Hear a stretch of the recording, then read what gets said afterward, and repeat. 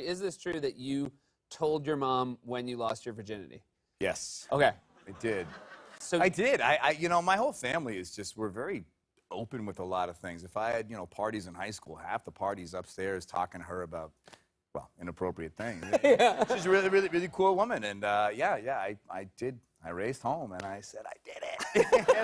I don't know what I was I doing, it, but I I- think I did it. and I didn't cry. oh, no, I cried. Didn't say that.